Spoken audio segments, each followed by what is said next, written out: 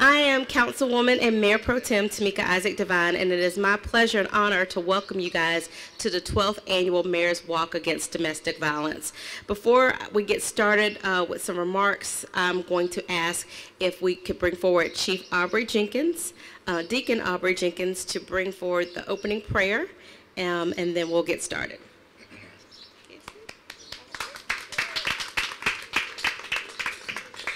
Let's all pray.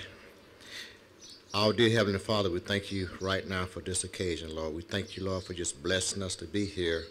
We pray, Lord, that all things that are said and done and through this walk, Lord, that we bring in more awareness to domestic violence, Lord. We pray, Lord, for those victims that have been uh, has been affected by this, not only the victims, Lord, but the families as well. So we ask you, Lord, to please bless, heal, touch, and deliver, Lord, and just give us the victory. In Jesus' name, amen.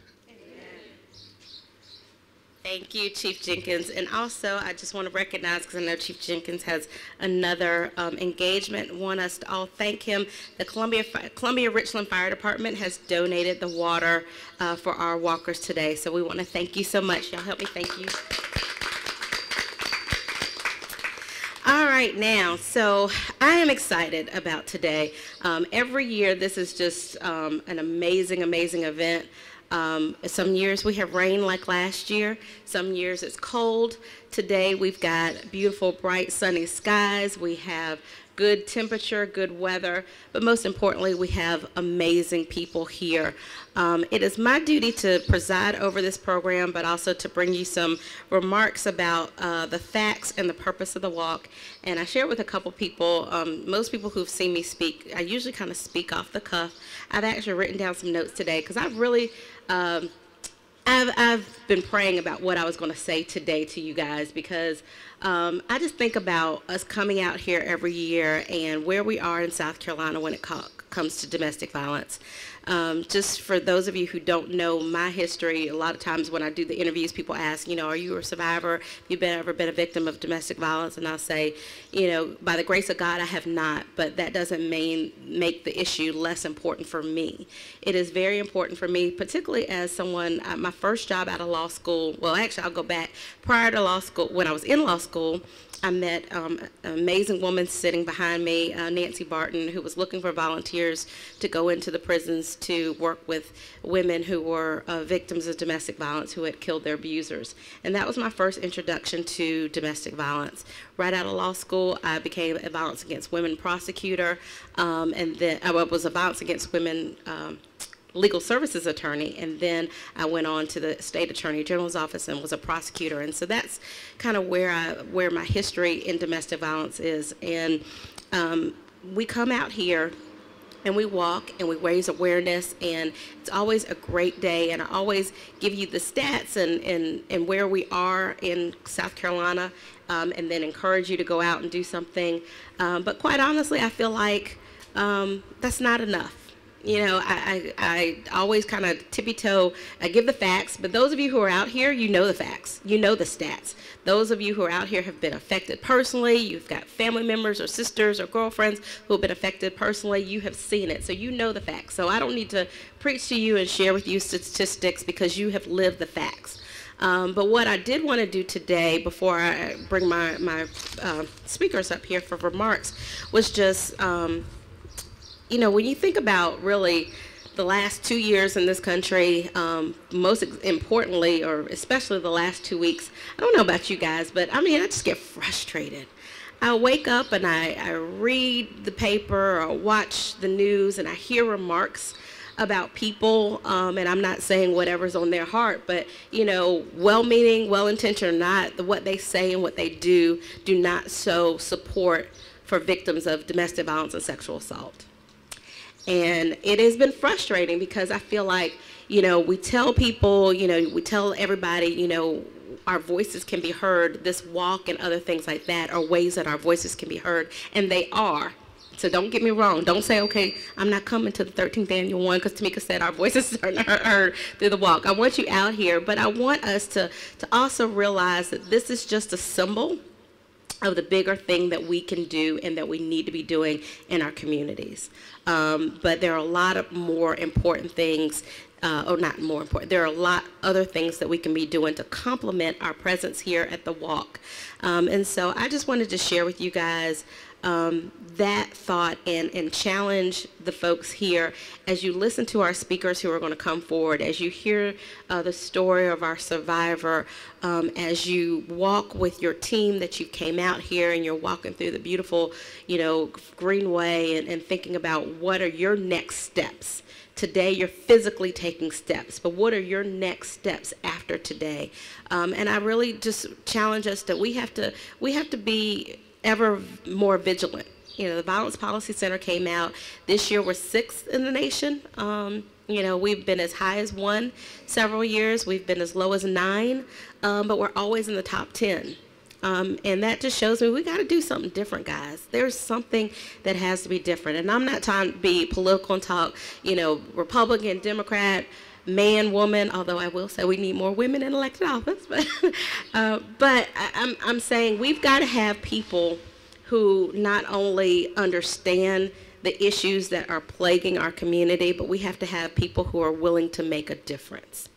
Um, and so I, I am I am going to be political in that I'm going to tell you today is one month, one month away from election day. And we have people all up and down the ballot from uh, congressional uh, candidates to um, our state offices to our local offices like solicitor and county council. And, you know, we have to have people all up and down the ballot that understand our issues and not only understand them, but also understand and recognize when they don't know an issue and they don't recognize an issue that they talk to people who make who have the information.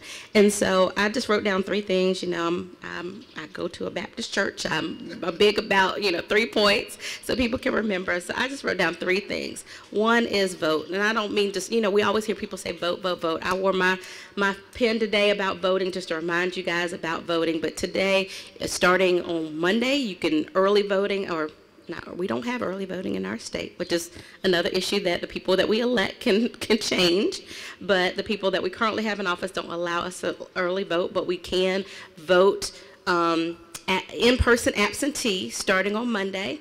Um, and so I want to challenge us to vote and get other people to vote. We got to make sure that we're educated about who we're voting for and who we're putting in office and that our voices are heard. That when they make decisions, um, and I told you guys about my history and, and working my first two jobs, for my first two jobs were funded by the Violence Against Women Act that went into effect. It was written by then Senator Joe Biden, went in effect in 1993. Um, it um, effectively expired last week. However, the president has um, extended it into the end of uh, December or to the beginning of December. And so those folks up there in Washington um, have the ability to reauthorize the Violence Against Women Act or not. Uh, the first, when it passed the first time, when it was reauthorized uh, the second time, it was bipartisan support to reauthorize it. The last time it was reauthorized, um, there were a lot of, of people who didn't, a lot of elected people who didn't support it because they didn't support some of the people who were being protected under the Violence Against Women Act. So to me, that means for you guys, it's important who is who we send to Congress because it's important that we have people who authorize the money that come to our state to fund prosecutors, to vote, to fund victim advocates, to vote um, law enforcement to help combat domestic violence in our community. So we got to vote and we got to make sure our friends. Secondly, we need to hold our elected officials accountable. Whether you voted for them or not, whether you voted for me or not, you should be able to call me anytime and say, Tameika, I want to know what is the city doing about domestic violence? What is the city doing about this issue? You should be able to call your solicitor, your congressman, your um, county council person, your governor's office. You should be able to call them anytime and say, what are you doing? And I want to hold you accountable. I want to know how are you making this issue important in our state. We got to hold people accountable. And for people to say voices don't matter, you know, we look at, you know, whether, you know, you're happy or not happy about the way the vote went yesterday um, in Congress and, and will likely go today. A week ago, two women stood and talked to their congressperson and said, I am a survivor. I am a survivor of sexual assault, and I want you to hear my story, and I want you to take a pause. And he did take a pause. Now we can argue whether or not that made a difference. I'm not going to get into that debate, but it did. Those two women, their voices were heard. What would it do if all of us called our congresspeople? If we were calling them, and we were calling um, Senator Graham and Senator Scott and Joe Wilson and saying, um, this is my story, and I want you to hear it, and I want you to do something about it. And then when they don't do what we think they should do, then we need to hold them accountable, which means we need to be rallying people and voting them out of office. So uh, that is our second thing. We need to hold all elected officials accountable. I don't care if they're Republican or Democrat. If they represent South Carolina, if they represent Richland County, Kershaw County, whatever, they represent all of us. And they need to be held accountable to us. And then my third thing is we need to continue to be an advocate. You know, I listened to the debate yesterday. I was disappointed by some of the remarks I've heard in the last week. I have called my Congress people and, and, and, expressed my disappointment. But instead of being disappointed and mad and frustrated, I am using that energy to be more of an advocate. And I that's what all of us need to do. That's number three. We need to be advocate. It doesn't need to be just the first Saturday of October that we come out here, we put on our purple, we feel good, and we walk. But we need to be calling people. We need to be when a you know an abuser is let out on a PR bond, we need to be there holding people accountable. When money is cut from domestic violence shelters, we need to be out there being an advocate, holding people accountable. We need to continue to be an advocate 365 days of the year, not just today. And so I'm going to get off my preaching. uh, but that was on my heart, and I just I had to say it. I just had to say it because I don't want to feel like we come out here, we feel good, we walk, but then what? We don't do anything else. So my challenge to you guys, as you listen to our fabulous speakers today, is to take those three things and go out there and you continue to take steps against domestic violence and do what you can do because we all can do something. Some of us are elected and appointed and policymakers, and we do things there. Some of us are, um, you know, advocates, and we, we work in that field. Some of us are PTO moms and church leaders, and we can do our work there, but we all can do something. So with that said, I am going to shut up, and I'm going to go back and put on my Mistress of Ceremonies hat and I am going to introduce you another fabulous, amazing advocate, uh, Sarah Barber, who is the Executive Director of the South Carolina Coalition Against Domestic Violence and Sexual Assault. I know that there are some of you in here that I've talked to about how do I get be an advocate? How can I do this? How can I do that? Well, Sarah is a person, her organization is the umbrella organization for our state. Uh, they have been working uh, hard in the trenches for many, many years, and she can help and point you to the resources necessary to uh, elevate your advocacy in this issue. And so if you all would please help me and join me in welcome Sarah Barber. Thank you, Tameika. Um, first of all, I'd like to echo what um, Tameika said in that Senator Scott and Graham expect my call. They expect to hear from me every day but if they expect all your calls too, we may actually start to get some change and they may listen to all of us in a way that maybe sometimes they don't listen to just me. Um, unlike Tameika, I don't speak off the cuff, so I have um, some prepared remarks about what October and what these kind of events mean to me. So every October, we gather to remember the dead, those who have been killed by abusive partners during the previous year. And every October, we recoil from statistics that show our state to be one of the most dangerous in which a woman can live. Every October, we pause to recognize that homicides are only the horrific tip of the iceberg of domestic violence in our state. But as terrible as statistics are, sometimes they can obscure the lives they represent, the lives impacted and lost to the many types of abuse that form the pattern of domestic violence that sears through our families and communities. Individual stories get lost in numbers, so today, rather than talk about statistics, I want to focus on two stories that have impacted me. So the work I do as an advocate, the hope I carry, is rooted in the legacy of Marva. I met Marva when I was first starting to work with a program that intervened with offenders. Her husband had attempted to kill himself and then assaulted her in the emergency room in front of several doctors. After being arrested and spending some time in jail, he was referred to our program. Then a few weeks later, he assaulted Marva again, and I started talking to her pretty much every day, talking to her about her possible options, about safety planning, trying to engage her in services with Sistercare.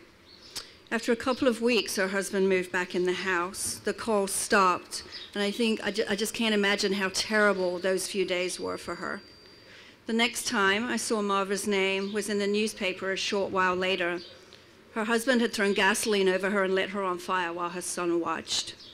She died a few weeks later. 15 years on, and I still think about her every single day. And although it may seem strange to say that the hope I carry is inspired by her, it is because her story carries forward the urgency of the work we do, the work we need to do as a community, and so nobody else has to endure what she and her family did.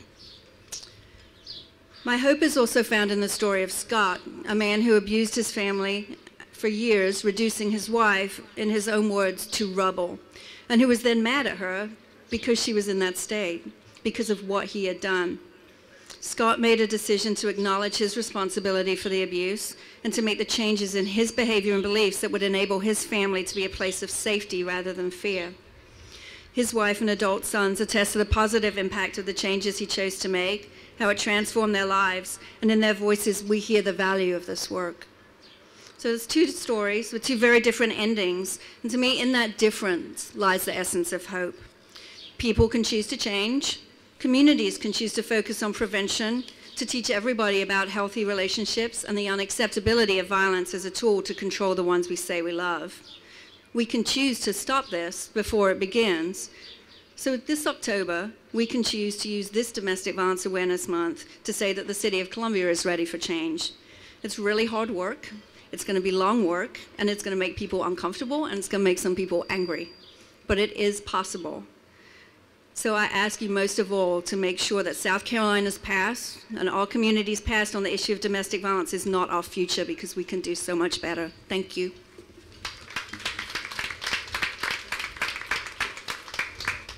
Thank you, Sarah, and thank you for sharing sharing those stories. Um, our next speaker really needs no introduction. If anybody is remotely um, aware of domestic violence uh, issue and the work that's being done in our community, then you know Nancy Barton. Nancy Barton is the executive director of Sistercare, who is our local shelter. Um, and Sistercare and, and Nancy have been working in the trenches forever.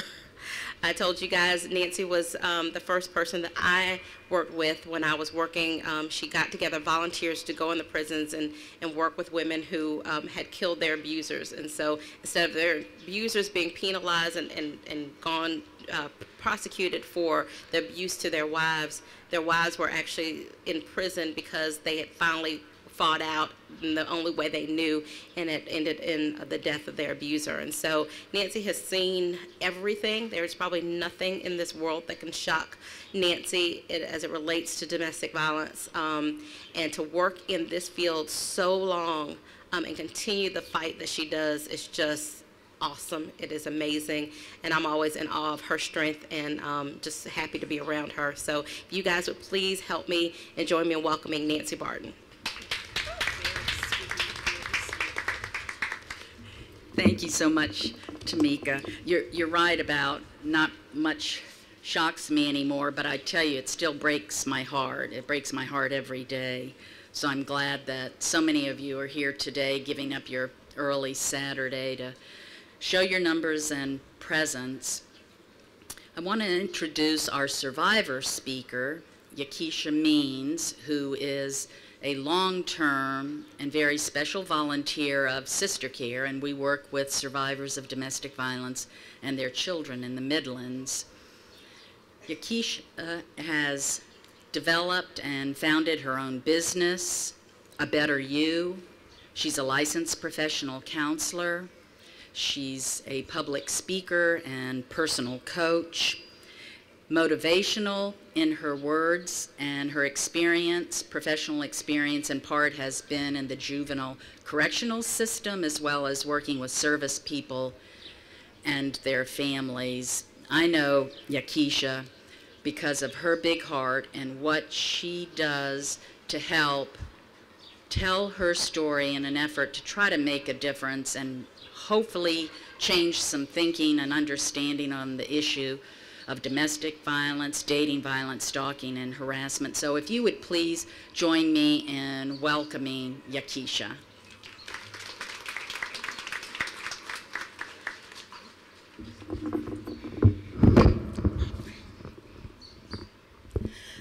I first became a victim of domestic violence when I was lying in bed, probably at the age of three or four with my older sister at one end of our trailer. And our parents' bedroom was at the other end of our trailer. And when I first noticed that this was my world was when I was awakened by the screams of my mother. Sean! Sean, come and help me! Paul, why are you doing this? Stop! And my sister would urge me, Sean, go help mama. I'm only three or four. She's eight and a half years older than me. But see, my my father and I, we shared this this funny, you know, relationship. He called me his lady. He doted me. He doted upon me. And so here I am, this little girl with long pigtails in her pajamas. It could be 3 a.m., 2 a.m., or 5 a.m. And I get up out of bed hearing the bumps up against the wooden panel walls in their bathroom, continuing to hear her screams to stop.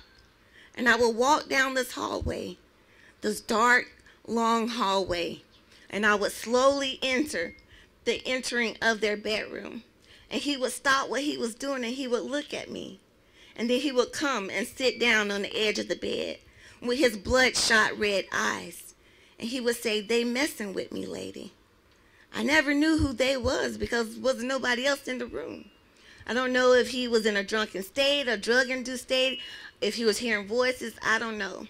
But all I know at that age was the only thing that I could do to help my mama was to show up in that room and I would pat him on the back and he would say, everything is going to be all right, lady. And sometimes when he was sitting there on the edge of the bed, my father, he would have his 32 gun in his hand. And there was always three guns in the house. His 38 would be on the, um, the, the, the counter. He would have his 32 in a holster, and he would have a shotgun in a closet. And that is where my mother had to lay her head every night. Can you imagine being held hostage, knowing that there are three guns that can take you out in any moment? That's the world of domestic violence. The fear, the anxiety, not knowing as my sister and I laid in bed every night that he abused our mother, if this was going to be the night that he actually ended up killing her. If this was going to be the night after he had sexually assaulted her, after the physical abuse when he fell asleep, and when my mother would come and shake us, y'all wake up, wake up. We're going to your grandmother's in, in town if he was going to catch us and not only kill my, our mother, but also kill us too.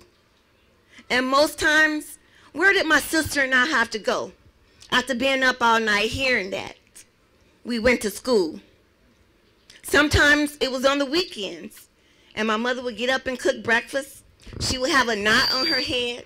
She would have a black eye or a bruise right here on the side of her mouth. And guess what? Like most families, we pretended that the night before had never happened. The denial, the secrets, that is the world that most of us at this place today, we grew up in. Also, my father, he ended up going to prison. And you would think life is about to get better for us. By this time, my sister had moved on into the Air Force. She got out of there. My mother and I was left, but I was missing something. At the age of 15, I was missing that closeness that I had with my dad. All that chaos that I was accustomed to. The love, I thought, you know, a man had to, to physically abuse me, so I got involved with a 20-something year old man at the age of 15. who treated me like my dad treated my mother because that to me as a child learned behavior that is what love looks like that is what love feels like. And one night i ended up shooting and killing this man and i went to department of juvenile justice. So my father and i were writing each other. We're going to take on the world once we got out. And so i went from being a victim to being an aggressor. But while I was there, I started my journey to becoming a survivor, to dealing with everything that I had been impacted by as a child. And so my father got out before me, and then I got out into an independent living program in West Columbia. One of the teachers, Nellie Hartso, helped me get into Columbia College. Things are looking up. My, my father remarried to his mistress that he had had children with while he was married to my mother. But yet, he still was calling her. He was still stalking her in our little town of Union. A lot of people didn't know that. That's something that we found out later on. So here, here we are, you know, I'm getting ready to go to, to Asbury Hall in, in August. And my dad called me one Saturday and he said, Lady, I'm thinking about capping your mama. And I said, Daddy, don't talk like that. And he said, like he had always said years ago, everything is going to be all right. That Sunday, my mother came down to go to church with me. We went out to Quincy's, had a good time. You know, back then Quincy's had all those cookies, you know, and those rolls. So we got, you know, our napkins and put us some in our purse. We had a great time, right? And so I told her what my daddy said. And she said, I'm not running no more. If it's time for me to go, it's time for me to go. And she, we hugged and we kissed and she got in her car and she went back home. And I went to my 4 to 12 shift at Babcock Center. You ever have that feeling that you're not physically sick, but it's something in your spirit that's not right? For eight hours, I wasn't physically sick, but I felt like something wasn't right. And all my coworkers, they kept asking me, Keisha, what, I mean, you need to go home. What's wrong with you? And I said, you know, I mean, I'm, not, I'm I don't feel like I got to throw up or anything. I just, I don't know, just something off. Well, when I got off, I got to my godmother's house, and I was on the phone with a friend of mine. He was like, you don't sound like yourself. And it was back then that you had them rotary phones and used to get beeps. Well, I got a beep. And it was my aunt Tutu from Saluda, one of my daddy's older sisters. And I'm not very close to her, so immediately when I heard her voice, I'm like, oh my God, I got to get home to Wallace Thompson Hospital because I know my dad didn't beat up my mama real bad and she's probably plugged up to all these machines and beat up really bad. And then she says, Sean, you have a car, right? And I said, yes. And I'm preparing to, you know, jump in my car and head home. And then she finished her sentence. Well, you need to get home. Your daddy then killed your mom and killed himself. And I'm thinking, God, why now? After all these years, he didn't remarry. He didn't remarry this woman that he had kids with. I'm about to start college so that I can do better with myself to get her out of union. She was even thinking about moving down here and she was going to get a job at Babcock. She's getting her GED. Why now, God? Why now? That phone call ripped my heart to pieces it dropped me to my knees, and all I could do was scream. Why now? Why, God? Why? That phone call is a phone call that many of you in this audience have received. That phone call is a phone call that many of you have had to make in this audience today. Some of you may have had a knock at your door, like the mother of this recent 17 year old girl the police came to her door to inform her what had happened to her daughter. And I came here today with my aunt and my cousin that we don't want any more of those phone calls to have to be made. No more of those phone calls need to be made. And I stand here today to be transparent on how serious it is for us to move from survivors to becoming more advocates. Advocates, to be a voice for those who no longer have a voice. What does that look like? That looks like your churches, your schools, your sororities, your fraternities. That looks like calling in people to educate young teens about healthy and toxic relationships for them to be able to differentiate. What does that look like? What does that sound like? When your boyfriend say he don't know what he would do without you, well, let's go further with that. What do you mean you don't know what you do? I would hope you would move on to the next female or the next male. I would hope that means that we go our separate ways without you calling me a hundred times a day, without you popping up at my job, at my school. Let them know what the red flags are. If he wants, he or she wants you to quit all your sports, don't want you to have anything to do with your family or friends, that's a red flag. That's not cute. That's not love. He wants you all to himself so he can have control and power over you. But also, we have to show them in our own relationships because they're watching us. They're learning from us. How do we operate in our romantic relationships? Are we cursing? Are we fighting? What are we doing in front of these kids? What does being an advocate mean? It means moving from being a survivor, having had something done, and managing and overcoming to being active in it, doing something about it, calling the needed people, forming I don't know what I mean relationships with people in other states to where we can have somebody transferred over to another state to achieve a new identity if need be depending upon the severity of the danger. Because leaving your abuser or a batter is the most dangerous place. It's the most dangerous time. My mother you would think she would have been saved. My daddy done remarried. However he still thought what my mother belonged to him. And if he couldn't have her, he was going to make sure that nobody else could. So I stand here today. No more phone calls. It's each one of our responsibility, as Miss Devine said, to move forward and do something and become more active into, bring, into preventing us from being another top 10 of women killed by their abusers in the state of South Carolina for next year. Thank you.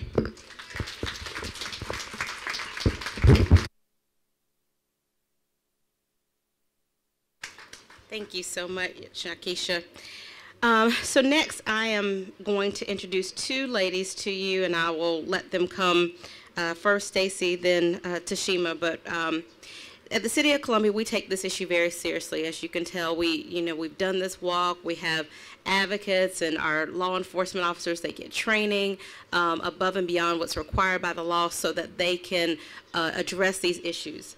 No, we're not perfect. Um, yes, there's always work that needs to be done, um, but we are dedicated to this issue. And so I want to introduce to you guys Sergeant Stacy Walker from the Columbia Police Department, and then after Stacy, I will have Tashima Martin, who is a victim advocate with the Columbia Police Department, come forward. Thank you.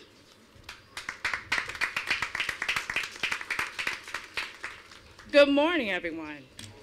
Um, I'm still trying to get the tears from my eyes after hearing all of that, and I really don't know what to say. Thank you. Thank you for sharing. Thank you for expressing that the way that you did.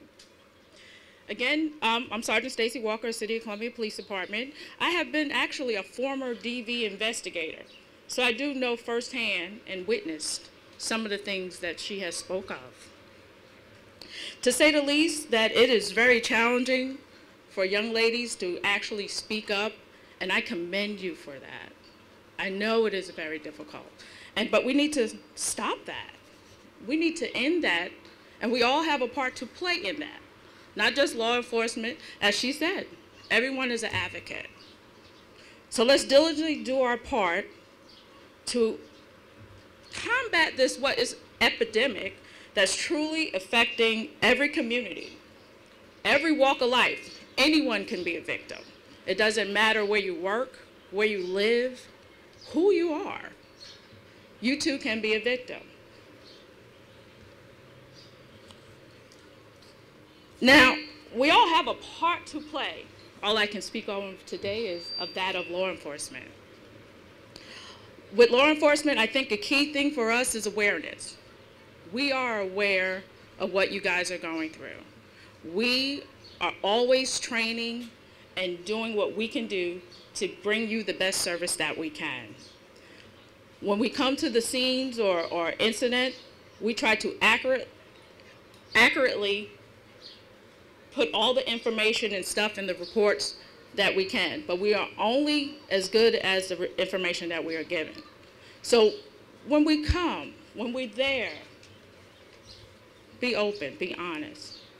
If you feel like you can't talk to us, and I'm not going to go step on her toes too much, we have phenomenal victim advocates in place for you to talk to. Phenomenal. They have plenty of resources and stuff. I'm sure Ms. Tashima Martin is going to expand on that. Again, I don't want to step on her toes. But again, I just want to thank you for allowing me to be here. Um, I'm going to be walking with you guys, and if you wanted to stop and talk, we will, I'll be more happy to do so. Okay, thank you.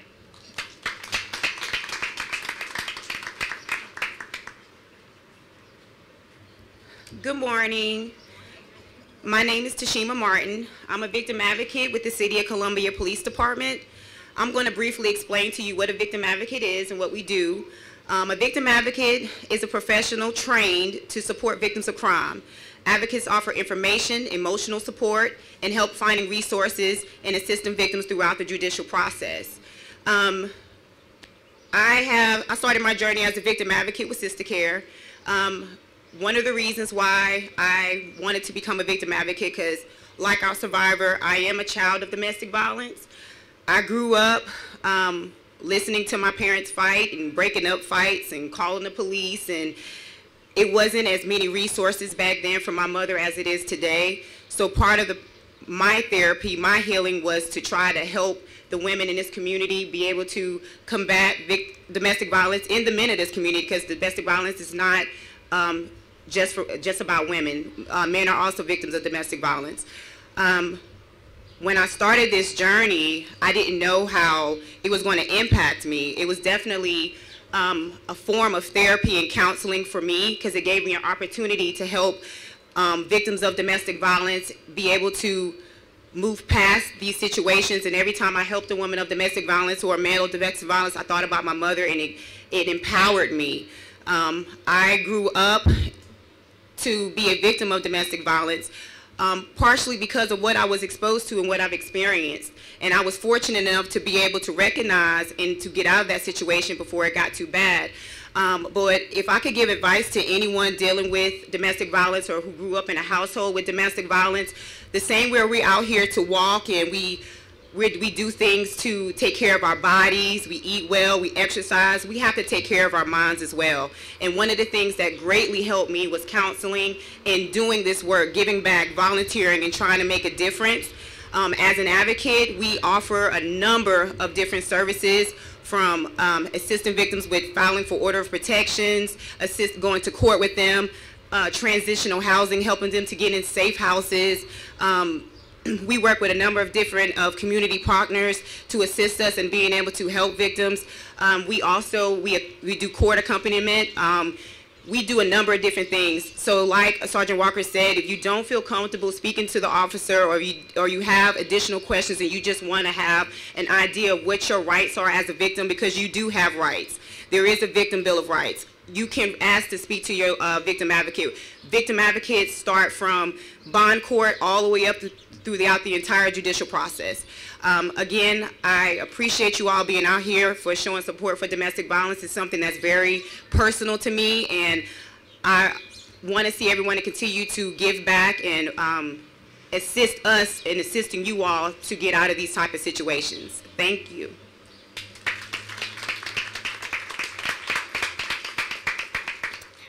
All right. So as we are about to get ready to um, to close and um, have Reverend Reverend slash Commissioner Aaron Bishop come forward uh, to pray for our walk and pray for all victims and survivors out there. do want to just a couple closing remarks. Um, I would like to so I, reminding you guys my three points. We're going to vote. Remember, what, you can start Monday. Uh, to vote in person absentee, but also encourage other people to vote. There are so many people who feel like my vote doesn't matter, my voice doesn't matter, and we need to show them that it does. So make sure that you come out and vote. Um, we're a month away from um, our general elections. Um, with that said, um, I do, um, and this walk has always been nonpartisan. We've always had different folks. Um, today, um, we do have, I know, two candidates with us. I see Sean Carrigan. Sean, raise your hand. Sean Carrigan is a, a candidate for the U.S. House of Representatives. So Thank you, Sean, for being here. And I think you've been with us in the past. And I mentioned to you guys about the Violence Against Women Act, which was, you know, started being supported nonpartisan back in 1993. Unfortunately, over the years, it has gotten very partisan, um, and now um, it is due to be reauthorized. And so, if it's not reauthorized by the beginning of December, then millions of dollars that have come to this state to help fund Sistercare and prosecutors and victim advocates may may no longer be available. So, we need people in Washington who understand the importance of of supporting um, survivors. So I thank you, Sean, for being here. Um, we also have um, with us um, actually a, a very um, good friend of mine who has always been a, an advocate and has been out with us before, but I think this is the very first time you've been out here as a candidate. We've got um, Byron Gipson, who is a candidate for solicitor for Richland and Kershaw County. Byron, raise your hand. Byron and I in law school worked together, um, and he's always been an advocate uh, for victims and survivors of domestic violence and sexual assault. And our solicitor will um, make the choices of prosecuting these cases, whether or not to have a no drop policy and other things. So thank you, Byron, uh, for being here. Are there? And then I saw Judge Milton Kimpson. Uh, he's on the phone. Judge Kimpson is out here. He's always been out here. So we thank you for being out here as well. Um, I also want to thank our volunteers. We've got so many volunteers who help us. The domestic, um, domestic violence walk is a walk that, although the logistics are supported by uh, City of Columbia, we couldn't put it on without volunteers. So I want to thank all of our volunteers for out here. Uh, we also have some students from WG Sanders. You guys raise your hands for me. Say thank you guys. Um, and so I, I just want to brag on them a little bit because I'm a mama of a Double G Sanders student, but brag on them because they are always uh, working in the community. But these young people also recognize, although they are not eligible to vote yet, they are eligible um, they are able to make their voices heard. And so they are at domestic violence walks and the peace walk and other things, making sure their voices are heard. So that in, inspires me and encourages me, and I thank you guys for being here. I thank the public relations, media, and marketing staff for the City of Columbia. Most of them are working, but you guys raise your hand. Yay. Over here. Um, they help us get the word out. They help us get the volunteers. Um, I also already mentioned the fire department who's donated the water, the police department who are, um, are providing our escorts um, during the walk. I see they're scattered through here, and I think some of them are already out there. But y'all, when you see um, our CPD officers, please thank them for what they do today and every day. Um, and our Parks and Recreation staff, and Ms. Wanda Austin is here, and others, um, the Parks and Rec staff help us uh, tremendously.